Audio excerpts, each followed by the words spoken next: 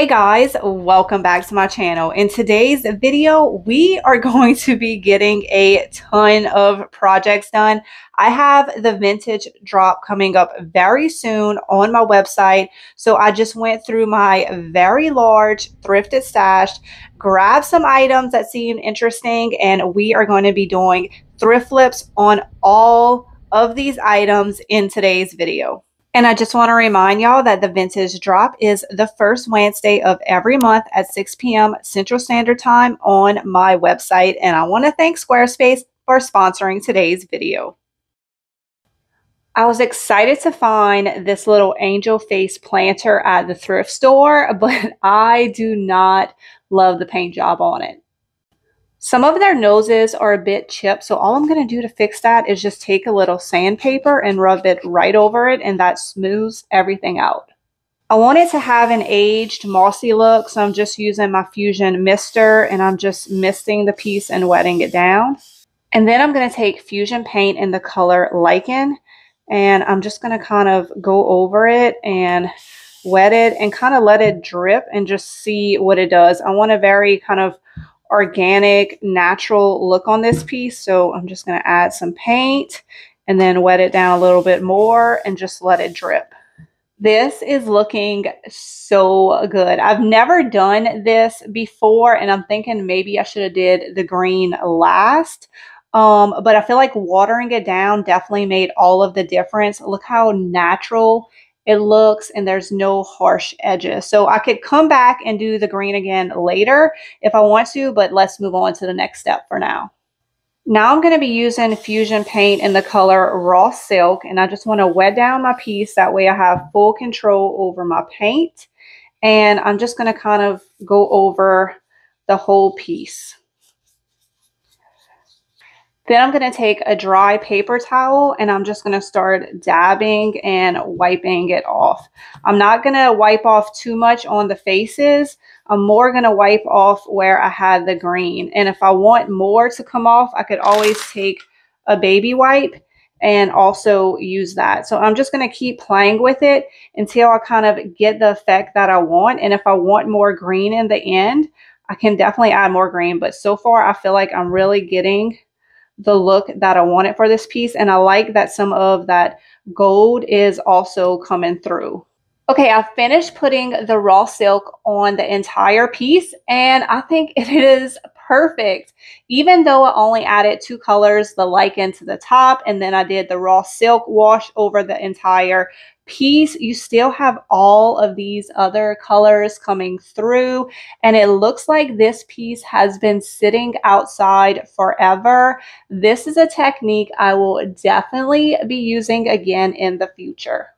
I was editing this video and I realized from up close when I'm looking at it, it looks very distressed. But when you look far away, it looks a little bit too new. So I decided to add Nature's Own antiquing wax and I'm going to add some dirt to this piece. I'm going to let it dry and then rub it off and then spray it with a clear sealer. And I really think that that is going to give it the aged, worn look that I want.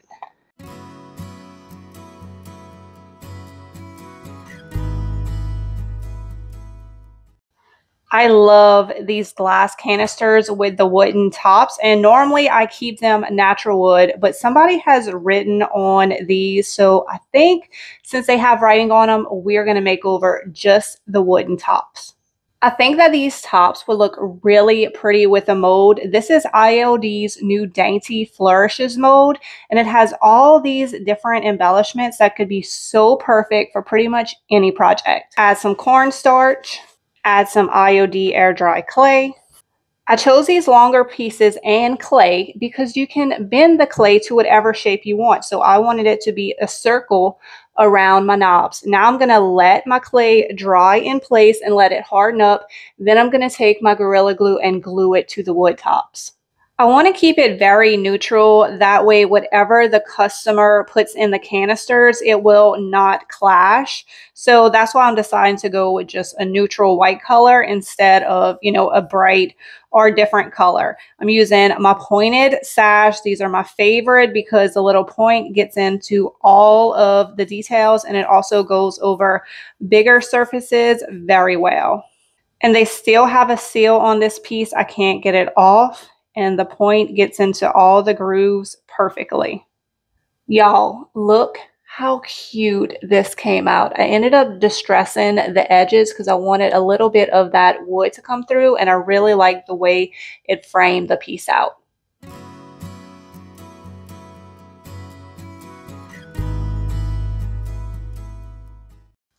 I got this at a garage sale for 50 cents. I did not know what I was going to do with it when I bought it. I just knew that I really loved the look of it.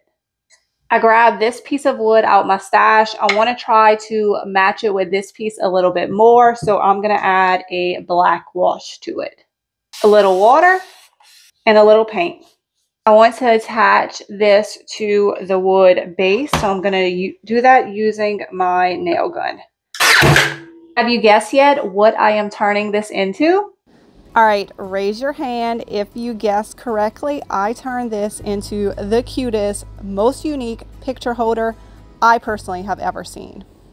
I thrifted these two pieces. I actually love the frame as is. It's a cute little shape with all this detail, this great gold color, but the picture does have some damage. So we're going to update these. I'm going to use the backers that came with the picture. I'm going to spray a little adhesive on it and then I'm going to take a drop cloth and put it over. And I'm going to cut away the excess fabric using my fabric scissors. I think that a butterfly would look so perfect in these little frames and IOD entomology transfer has a ton of butterflies to choose from. I decided to do two butterflies on each picture. So you just take your transfer from the backer and put it on your piece and all of your transfers come with this transfer stick. And I don't know if you can see it, but it's actually changing colors if it releases. I've done transfers on drop cloth many of times to create artwork. It looks beautiful. And transfers work so great on fabric. So if you have not tried it, I highly recommend it. Look how good that looks.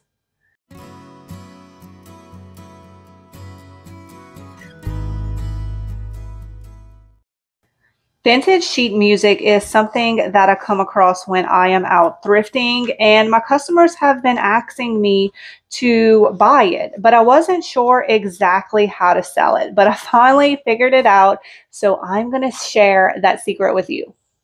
I try to get different sizes if possible, so a larger size, a medium, you know, regular paper size, and then a smaller size. I just think that that looks better. And then if your music looks too perfect, you could always just tear it apart.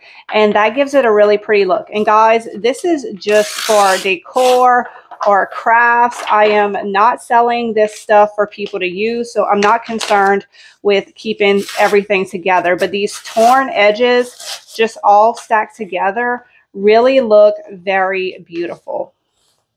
And you don't want to be counting these pages or listing each sheet individually. So what I did was I made a pretty stack like I showed y'all and then I weighted. So this is about three pounds and that is how I sell my stacks of music sheets. Now, even though I'm selling these for DIY projects, I still want it to be beautiful when my customer gets it. So I have some vintage lace that I thrifted and then I'm going to add a little bit of twine to it.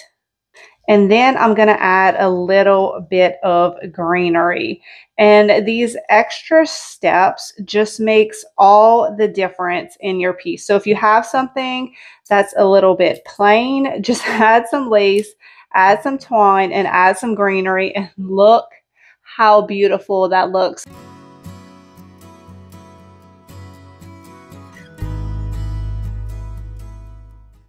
Squarespace is who I chose to host my e-commerce store. And when I started, my website only had one tab, the home decor section. And since starting my website, my business and website has grown exponentially. And Squarespace had everything that I needed to accommodate that growth. Squarespace is extremely user friendly, so as I added more products, it was very easy for me to redesign and redo my website on my own. But if you do need help, Squarespace has an excellent help center as well as 24 hour customer service. And not only can you add physical products, but you can add digital downloads. You could add subscription based products. Like I just started my Color of the Month Club, and Squarespace made that super easy. So whether you're big, small, or growing, Squarespace has everything you need to run your business. So y'all go check out squarespace.com slash Julie's Designs and Signs and Squarespace is giving my viewers 10% off when you use code Julie's Designs and Signs. And I will have everything linked in the description below for y'all. Y'all know I'm a sucker for original artwork and I just love these beautiful flower prints. I even like the dark matte, dark moody colors are definitely coming back. And I don't mind the wood, but I don't like the wood with the dark matte. I feel like that's definitely a more dated look. Also, this wood has lots of damage. So we're going to update these pieces with a little paint. I removed everything from the frame. Look how pretty these prints are. I love them. I want the frame color to be pretty close to the paper color. So I think Fusion Raw Silk is going to be the perfect option. I'm going to paint the frames. And then I'm going to distress the edges using 220 grit sandpaper. Even though Fusion has a built-in sealer, you can still distress it with sandpaper.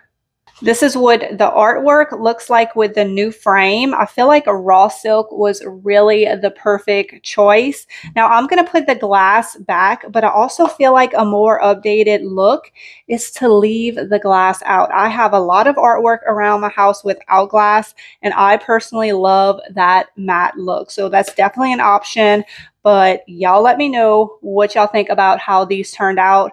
Always be on the lookout for beautiful artwork at the thrift store because you can always paint the mat and you can always paint the frame to update the piece.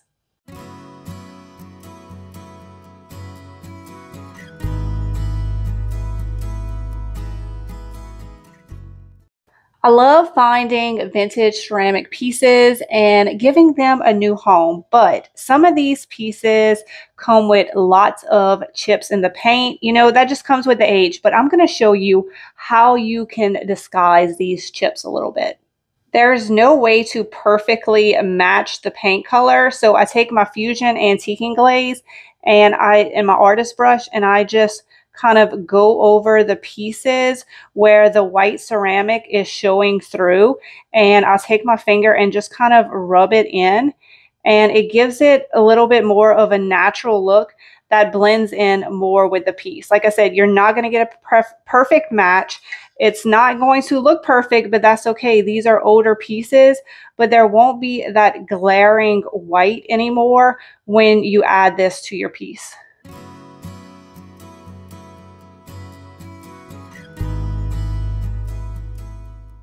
I thrifted this whole box of furniture legs. It was probably somebody's DIY project that they never finished. So today, we're going to finish it for them.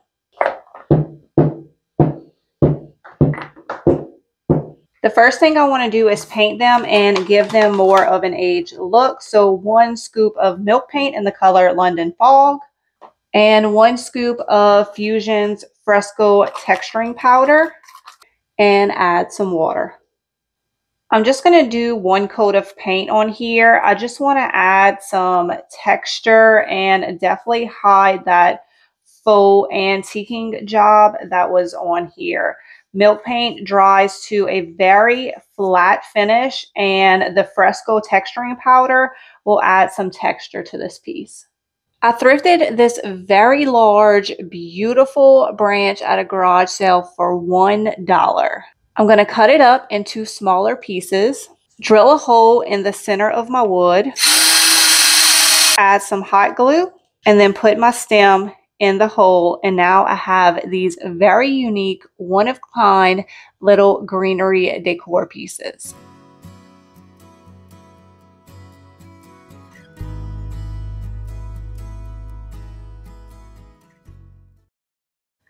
I get so excited when I find these cloches with the nice thick glass tops and the wood bases.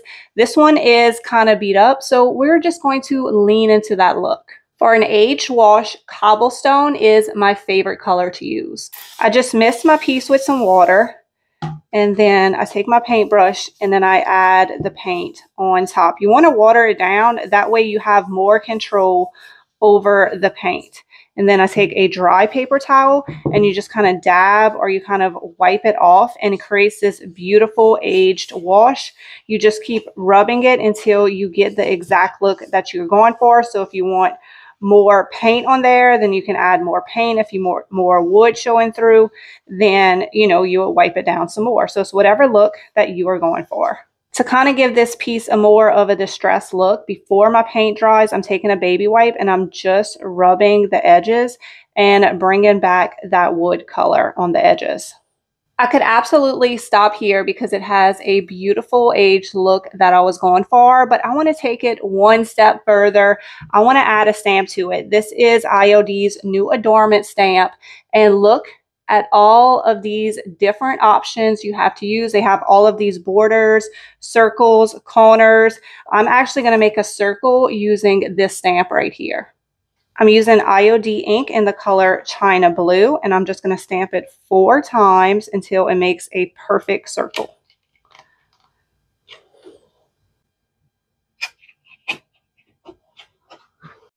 Now, I also want my blue stamp to be aged, and IOD's ink is permanent, but before it dries, you can distress it. After it dries, you can distress it with sandpaper if you would like. But what I'm going to do is I'm just going to dab it with a baby wipe and just kind of give it more of an aged look.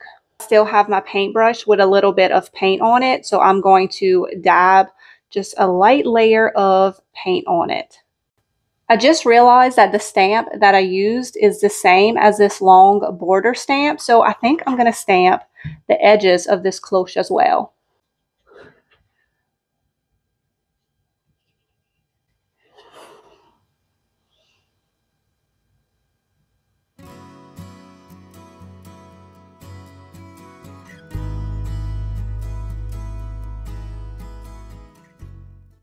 If you find these photo holders at the thrift store, get them. Then cut off all of the pieces.